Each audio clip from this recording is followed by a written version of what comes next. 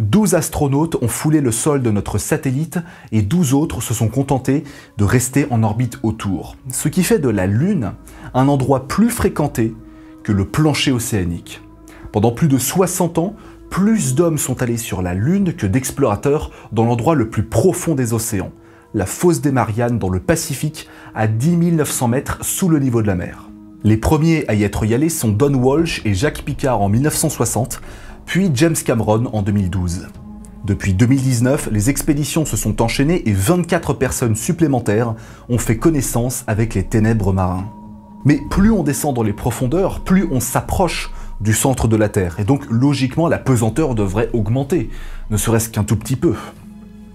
Ou pas. Se trouver au fond de la fosse des Mariannes ne signifie pas être plus près du centre de la Terre. Pour ça, il faut se rendre au pôle sud. Le rayon polaire, c'est-à-dire la distance entre les pôles et le centre de la Terre, est de 6356 km. A l'inverse, le rayon équatorial est de 6378 km, soit 22 de plus. Le pôle sud étant sur un continent émergé et fixe, quiconque se trouvant à cette extrémité du monde est plus proche du noyau planétaire que n'importe qui d'autre. Et tout ça à cause de la rotation terrestre. La Terre tourne sur elle-même en 24 heures et la vitesse de rotation à l'équateur est de 1610 km/h. Et donc logiquement, ben, zéro au pôle. Une personne qui passe sa journée entière sur le pôle sud voit littéralement la Terre tourner autour de son axe. Cette dernière est de facto légèrement bombée et pas parfaitement ronde, car la force centrifuge étire légèrement la matière. Un petit peu comme lorsque vous effectuez un virage assez virulent en voiture. Ceux qui habitent proche de l'équateur subissent deux effets gravitationnels. Ils sont plus loin du centre de la Terre que n'importe qui d'autre, et ils subissent un petit peu plus les effets de la force centrifuge. Ce qui a pour conséquence de peser littéralement moins lourd que n'importe quel autre endroit sur Terre. La masse exprimée en kilogrammes reste intacte. Vous n'allez pas perdre de la masse subitement comme ça. Par contre, le poids exprimé en newton, lui, il change. Pas besoin de films de science-fiction pour comprendre que, à la surface de la Terre, il y a des perturbations gravitationnelles constantes. À cause de la rotation et de la non-sphéricité de la Terre, la différence de pesanteur entre les pôles et l'équateur est d'environ 0,2%. Un changement malheureusement imperceptible pour les êtres vivants. Personne ne s'en rend compte. Pouvoir ressentir une gravité sensiblement différente n'est que le fruit de notre esprit, de notre imagination. Ça n'est que de l'autosuggestion. Si je vous le disais pas, vous n'auriez jamais fait la différence. Mais en est-on vraiment sûr? Peut-on être témoin d'un manquement gravitationnel à la surface? Si vous êtes un minimum curieux ou influençable, vous allez trouver des dizaines de vidéos sur internet un petit peu paranormales montrant des lieux dépossédés de pesanteur, où les lois de la physique ne font aucunement sens. L'exemple parfait est celui du barrage Hoover dans le désert du Nevada. Si vous jetez de l'eau par-dessus bord, les gouttes ont tendance à remonter comme par magie. Cet effet est simplement causé par un mouvement d'air constant qui remonte la paroi en béton, à la manière des bourrasques de vent qui font retourner les cascades. C'est pas mal, mais on peut faire encore plus étrange avec les collines gravitationnelles. Déjà, rien que dans le titre, ça annonce la couleur. Des portions de route où la pesanteur semble être inversée. Là où on pense descendre, on monte, et là où on pense monter, on descend. Certaines voies sont même devenues des attractions touristiques à part entière, à l'image du Magnetic Hill au Canada.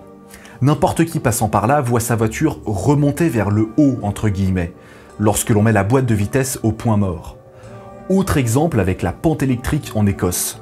Vous vous attendez à ce que la route descende? Erreur elle monte. Et l'inverse est d'autant plus troublant. Nombreux sont ceux voulant y déceler une origine magnétique, magique, ésotérique, surnaturelle, extraterrestre, etc. Le coupable n'est autre que l'horizon. Plusieurs études révèlent qu'en l'absence totale d'horizon dans le paysage, notre cerveau perd une partie de sa capacité à rester en équilibre, à savoir où est le haut, le bas, la gauche, la droite, etc. Et dans les exemples qu'on vient de voir, on n'a pas d'horizon, justement. Notre esprit est trompé. Toutes ces collines gravitationnelles ne sont que des illusions d'optique. Pourtant, au-delà de la force centrifuge et de la non-sphéricité, la Terre possède réellement d'autres perturbations gravitationnelles. Et pas qu'un peu d'ailleurs. Le satellite Grace de la NASA a établi une carte détaillant les variations de pesanteur de la surface terrestre. Les zones rouges montrent une gravité plus élevée et les zones bleues une gravité plus faible. Bien évidemment, l'échelle a été volontairement amplifiée pour que ce soit compréhensible. Mais est-ce que ça donne une différence notable? Est-ce que si je change totalement d'endroit, mon poids va subitement changer? Bah pas vraiment. Les écarts les plus grands ne représentent que 1 mm par seconde au carré. C'est pas beaucoup quand on sait que l'accélération de la gravité terrestre c'est 9,81 mètres par seconde au carré. Mais aussi dérisoire que cela puisse paraître, cette différence est mesurable. Elle ne peut pas être ressentie par les êtres humains, mais par des satellites mesurables. Ça veut dire qu'on sait qu'il y a une différence, on sait qu'il se passe quelque chose. La densité moyenne y contribue aussi car la croûte et le manteau terrestre ne sont pas les mêmes partout. N'oubliez pas que la Terre n'est qu'un agglomérat de matière qui ne tient que par sa propre gravité.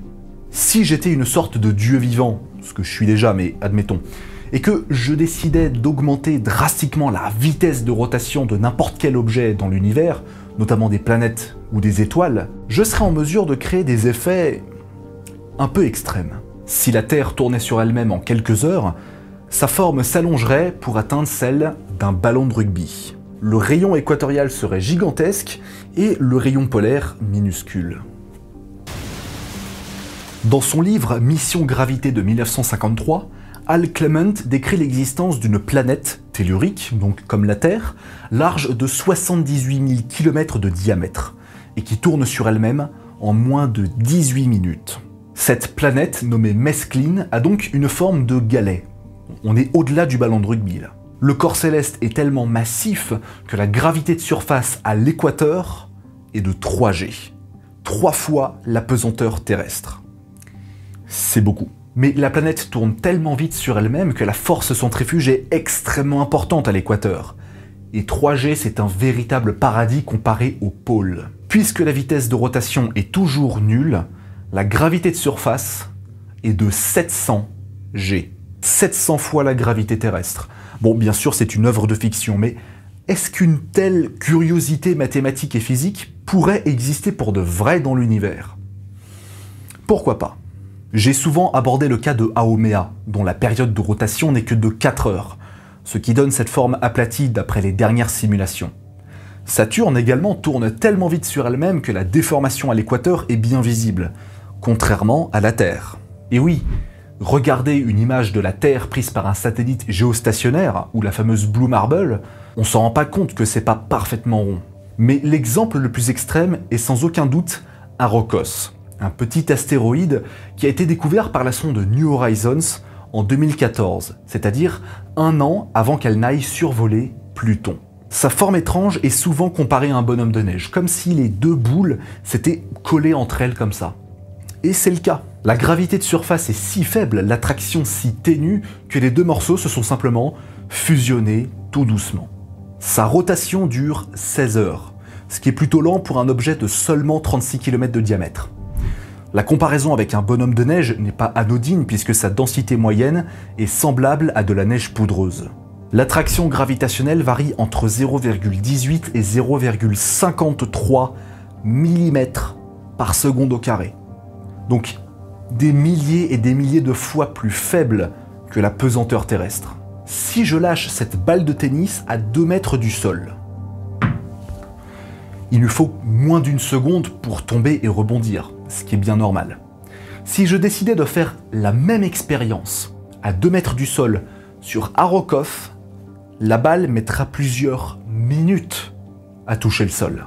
Même si la pesanteur est exceptionnellement faible, les variations gravitationnelles entre 0,18 et 0,53 mm par seconde au carré sont, à l'échelle, en proportion, absolument gigantesques. Une telle planète avec la même forme mais semblable à la Terre en termes de taille se serait déjà affaissée sur elle-même.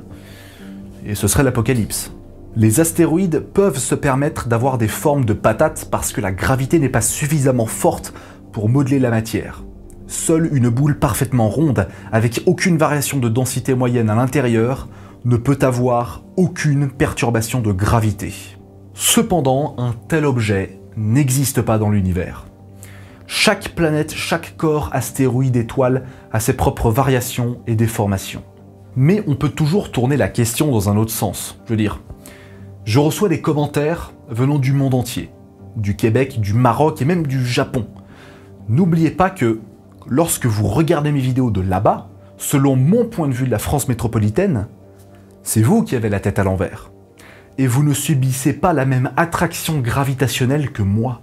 Merci de votre fidélité et n'hésitez pas à vous abonner à la chaîne, partager mon travail s'il vous plaît, mettre un petit pouce bleu, un commentaire et activer la cloche. À la prochaine